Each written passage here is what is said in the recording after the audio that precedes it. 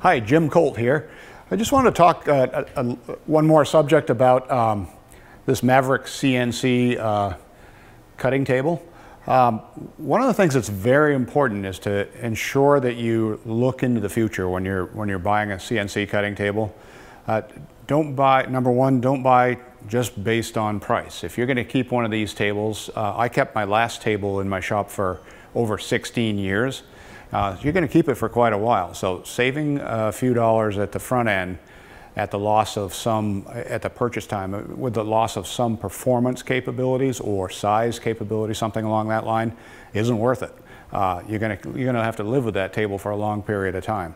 So it's kind of like buying a one-ton truck versus a half-ton truck. If you're going to use it with a ton in the back, the half-ton truck's not going to last very long. So the same kind of thing here. This is a five by five table. I really, really could use on occasion a 5 by 10 table and there's not that much difference in price for the extra five feet of travel. All the expensive items, the motors, the drives, the computer, the software, are exactly the same on a 5 by 10 table that they are on a, on a 5 by 5 table. So keep that in mind. Um, I have a serious limitation of space in my farm shop here. That's why I'm with the 5 by 5 table. And I'm going to have to suffer every once in a while if I want to cut something big, I may have to leave five feet of the, of the sheet laying, you know, sticking out past the table. And then when I get part of the cutting done, I'll have to index it and move back in. That certainly can be done, uh, but it's not, not an easy task, not something you want to do on a daily basis. And keep in mind that a 5 by 10 table is not really a big table. In industry today, there are tables as wide as 50 feet wide by 300 feet long. So think of a large shipyard, a steel service center, something that has to do big steel fabricating. Um, those are pretty common sizes in the high-end industrial machines. When you start, when you're looking at um, uh, light industrial tables like this uh, Maverick CNC machine, um, th these are uh, typically going to be in a smaller shop. They're going to handle plate up to about 5 by 10.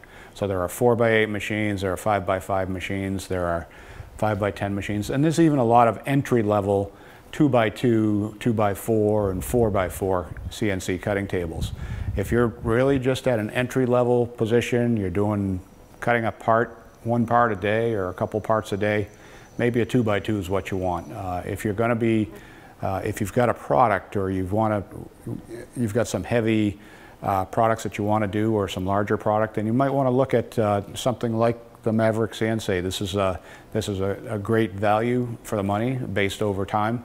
Uh, it's not one of the cheapest tables on the market, but it's uh, definitely a performer. We can see that already with this new installation. So, so the size of the table is critical. Uh, last but not least, same thing with plasma cutters. Uh, from the Hypertherm line, there's a 45 amp plasma, the Powermax 45 XP. There's the 65 amp, the 85 amp, the 105 amp and a 125 amp uh, air. These are in the air plasma lines. Beyond that, you can go up to uh, 800 amp plasma cutting machines if you've got to cut some six inch stainless steel. You're not going to do that on a Maverick CNC table though. So, so a lot of, lot of choices out there.